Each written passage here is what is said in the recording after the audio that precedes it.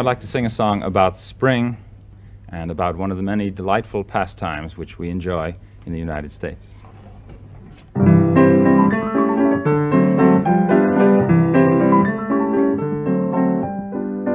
Spring is here, spring is here. Life is skittles and life is beer. I think the loveliest time of the year is the spring. I do, don't you? Of course you do. But there's one thing that makes spring complete for me and makes every Sunday a treat for me. All the world seems in tune on a spring afternoon when we're poisoning pigeons in the park. Every Sunday you'll see my sweetheart and me as we poison the pigeons in the park. When they see us coming, the birdies all try and hide, but they still go for peanuts when coated with a cyanide. The sun's shining bright, everything seems all right when we're poisoning pigeons in the park. We've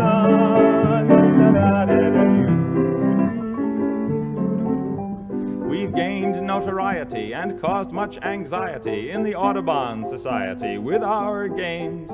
They call it impiety and lack of propriety and quite a variety of unpleasant names. But it's not against any religion to want to dispose of a pigeon. So if Sunday you're free, why don't you and we'll poison the pigeons in the park? And maybe we'll do in a squirrel or two while we're poisoning pigeons in the park. We'll murder them all amid laughter and merriment, except for the few we take home to experiment. My pulse will be quickening with each drop of strychnine we feed to a pigeon. It just takes a smidgen to poison a pigeon in the park.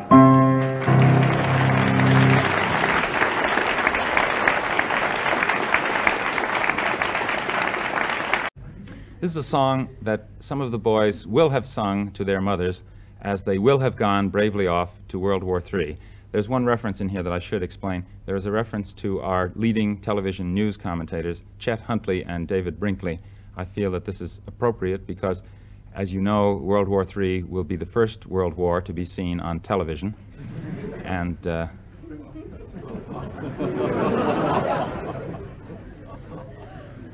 I certainly hope that we all have color television by then.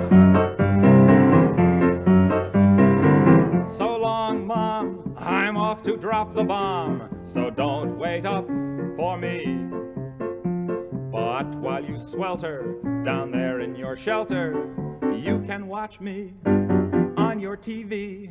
While we're attacking frontally, watch Brinkley and Huntley describing contrapuntally the cities we have lost. No need for you to miss a minute of the agonizing Holocaust. Yeah! Little Johnny Jones, he was a U.S. pilot, and no shrinking violet was he. He was mighty proud when World War III was declared. He wasn't scared, no siree. And this is what he said on his way to Armageddon. So long, Mom, I'm off to drop the bomb,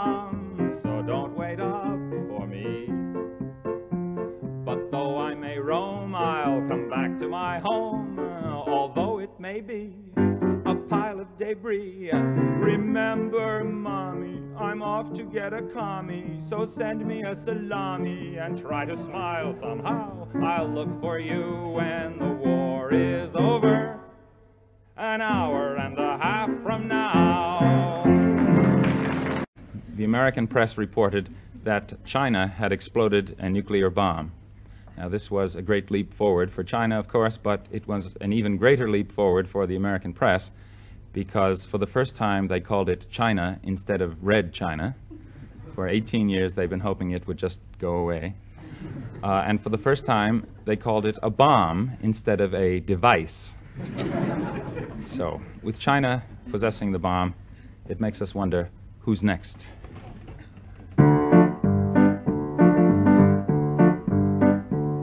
First we got the bomb, and that was good, cause we love peace and motherhood. Then Russia got the bomb, but that's okay, cause the balance of power's maintained that way. Who's next? France got the bomb, but don't you grieve, cause they're on our side, I believe. China got the bomb, but have no fears, they can't wipe us out for at least five years. Who's next? Then Indonesia claimed that they were going to get one any day. South Africa wants two, that's right. One for the black and one for the white. Who's next?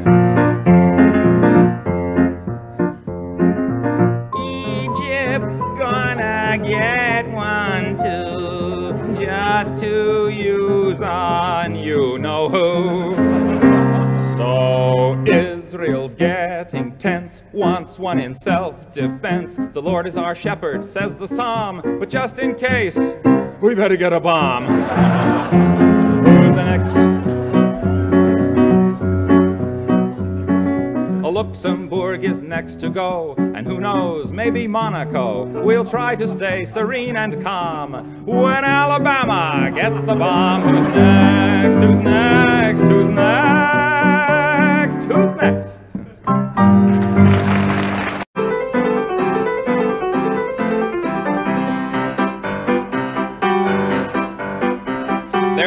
Arsenic, aluminum, selenium, and hydrogen and oxygen and nitrogen and rhenium, and nickel, neodymium, neptunium, germanium, and iron, americium, ruthenium, uranium, europium, zirconium, lutetium, vanadium, and lanthanum, and osmium, and astatine, and radium, and gold, actinium, and indium, and gallium, and iodine, and thorium, and thulium, and thallium. There's yttrium, ytterbium, actinium, rubidium, and boron, gadolinium, niobium, iridium, and strontium, and silicon, and silver, and samarium, and bismuth, bromine, lithium, beryllium, and barium. I left out one, actually. A new one was discovered since the song was written. It's called Lawrencium. So uh, those of you who are taking notes can write it down in your programs. There's holmium and helium and hafnium and erbium and phosphorus and francium and fluorine and terbium, manganese and mercury and molybdenum and magnesium and dysprosium and scandium and cerium and cesium and lead, praseodymium and platinum, plutonium, palladium, promethium, potassium, polonium, tantalum, magnesium, titanium, tellurium, and cadmium and calcium and chromium and curium. There's gold and californium and fermium, berkelium, and also mendelevium, einsteinium, nobelium, and argon, kryptonium, radon, xenon, zinc, and rhodium, and chlorine, carbon, cobalt, copper, tungsten, tin, and sodium. These are the only ones of which the news has come to Harvard. And there may be many others, but they haven't been discovered.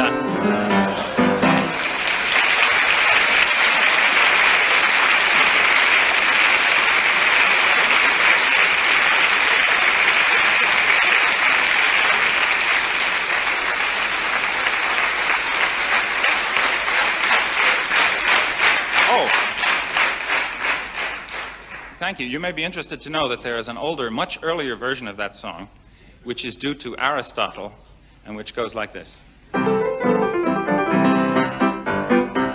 There's earth and air and fire and water.